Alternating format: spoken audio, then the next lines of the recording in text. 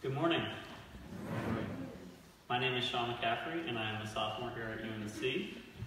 I took a year ago Tom's preaching practicum, and last time I gave a sermon here, it was centered around having focus in one's life, and I boiled that down to meaning that being present leads a person to success because they are completely conscious of what are they what they are doing when they are doing.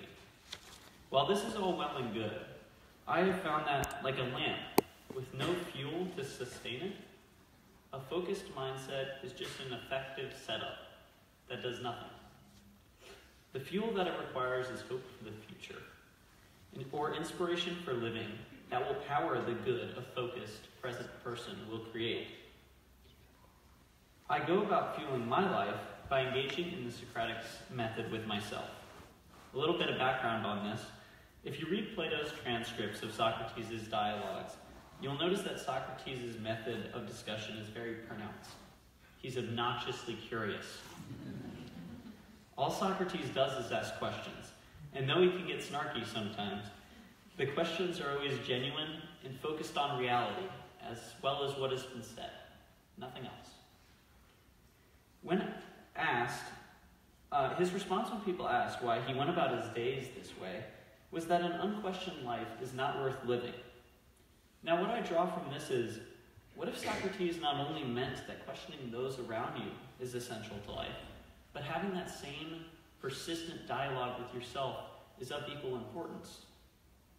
It is through this channel I have found the most clarity in figuring out how to best organize, live out, and improve my life. And my favorite query with which to bombard myself is what are you hoping for? This not only pertains to arbitrary things that I hope for, best epitomized by a mug my grandma has in her living room, which reads, Some days, all you need is a billion dollars.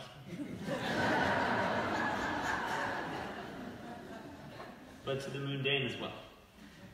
Reminding myself of the goal of what I'm doing at any given point in time re energizes it, as I remember how, why I'm working and how awesome it will be when I complete the path I'm on.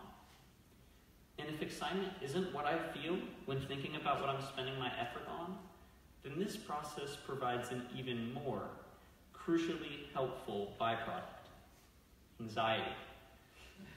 I'm not talking about the medical disorder, but instead the feeling that wells up and urges me to distract myself from whatever is causing it. It is all too easy to look at my phone or do even things that seem productive, like checking my email, long enough to forget about it. A decision that will just cause the adrenaline producing mentality to re- return in force later.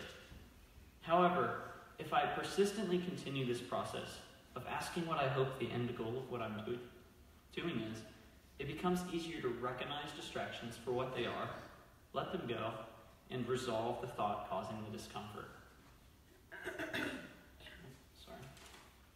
Living life diligently can be difficult but it tends to promote decisions that lead to a happier day to day experience. In addition to the everyday benefits that persistent refocusing can have, I found that it makes my long term dreams endure as well.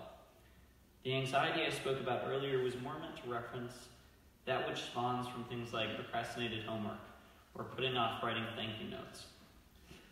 But when it comes to the bigger picture of what I want to do with my life, any anxiety I feel on that front tends to be a more dire symptom, one that warns of a dream being neglected.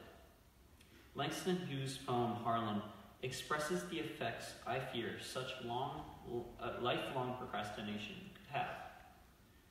What happens to a dream deferred? Does it dry up like a raisin in the sun? Or fester like a sore? Then run. Does it stink like rotten meat?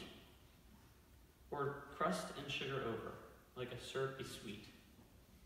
Maybe it just sags like a heavy load. Or does it explode? It always serves as a good prodding for me to reflect on how I'm spending my time.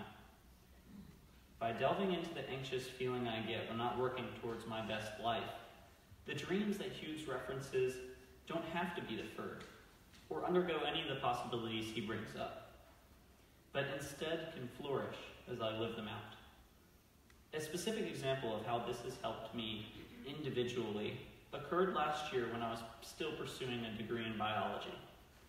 I was three hours into writing my umpteenth lab report for Chemistry 102 and was really stressed out about it for no good reason. I was actually going to get it done early for the weekend and knew the material fairly well.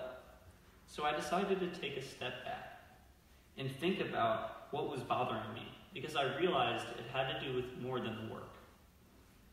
I asked myself what the fundamental motivator for me to complete the report was. Well, to get a degree. Okay, that's great. And the motivator for that? This question gave me pause. Well, what was it that I hoped for, to, that I hoped to do with a biology degree? Ten more years of medical school after college to be a doctor was not what I wanted. And working in a lab didn't fit my aspirations either. In fact, I didn't really have a plan at all. In an, instant, in an instant, it became abundantly obvious to me. I was frustrated because I knew at the core of my efforts, I wasn't working towards a dream of mine, just going along an arbitrary path.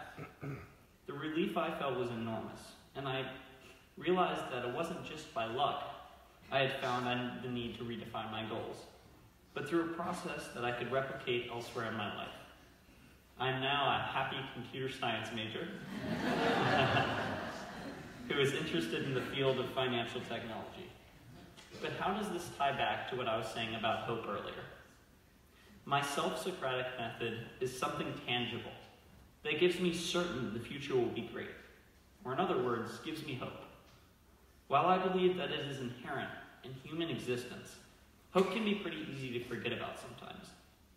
And forgotten or lost hope isn't effectively very much good. So, in addition to having faith that hope is embedded within us, it is equally as important to have practices that maintain it in your everyday life. Whether that be consistent analysis, praying, or art, having reassurance that there is hope for the future not only enables you to be happier, but to also reach out and serve as a source of hope for those around you.